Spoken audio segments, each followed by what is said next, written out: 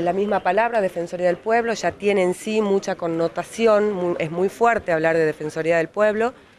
y cumplir ese rol con toda, con toda responsabilidad, eh, poder eh, acercar a la sociedad civil con el Estado nuevamente, volver a generar esos puentes y creo que eh, se, ha, se, ha, hecho un equipo que puede ser muy importante en esta gestión. la idea siempre es trabajar en conjunto, tratando de, de, poner digamos, todo el esfuerzo y la responsabilidad que conlleva esta, esta decisión del, defensor del pueblo, sobre todo buscando mediar como decía la doctora también, mediar este, entre el ciudadano y los organismos que nos competen, que son eh, parte de nuestra función. Em, es una responsabilidad muy importante y la idea es trabajar en conjunto los,